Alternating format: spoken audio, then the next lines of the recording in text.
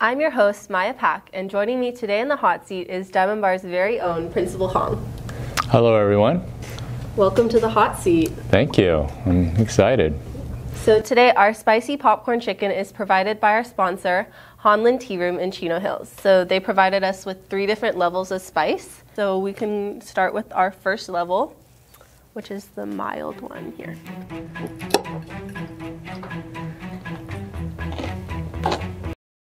Work, no reaction. We can get started with the questions.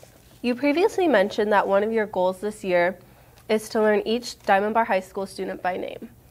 What, in your opinion, is the importance of making this connection? Every student on campus should know that their principal cares about them. It's not just learning every student's name, but it's you know finding out a little bit about them. As you've um, been speaking to each of the students and trying to make that connection. What has been the most surprising thing you learned about the student population? I don't know that I've learned anything surprising. It's just been really refreshing.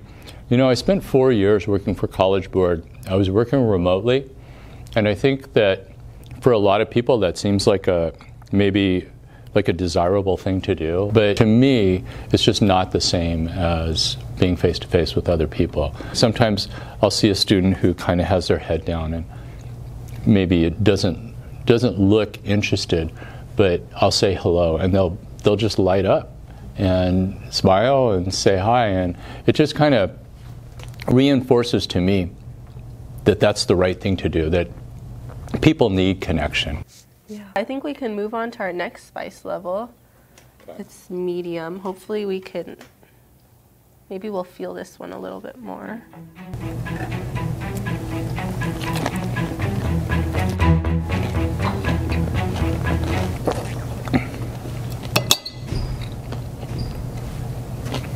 Huh? I will say it's tasty. Mm. And um, so Hanlin Tea Room so, what keeps you motivated in your running journey? I tend to be kind of goal oriented. I like to set goals for myself. So, I do, this thing where I, I set goals, and then every day, at the end of the day, I ask myself, did I make progress towards uh, meeting my goals? And one of the goals that I set for myself when I started to run was to uh, try to run a marathon which is 26.2 mile a 26.2 mile race. So I try to run a marathon every year. So I've I've run um, 24 marathons now, and I'll run another marathon in October.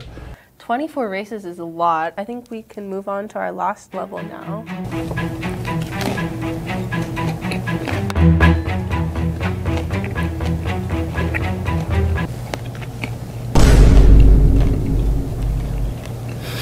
I don't know. and I kind of like spicy food. This one's your optimal level? No, I like that. You previously equated your role of principal to a juggling act. What grounds you in your day to day life? Petting my dog. Mm-hmm. When you go home and your dog comes to the door to greet you, I mean, it just is this love that you see in your dog. They're so happy.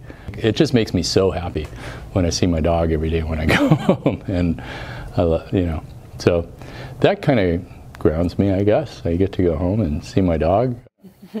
Thank you so much for joining me on Hot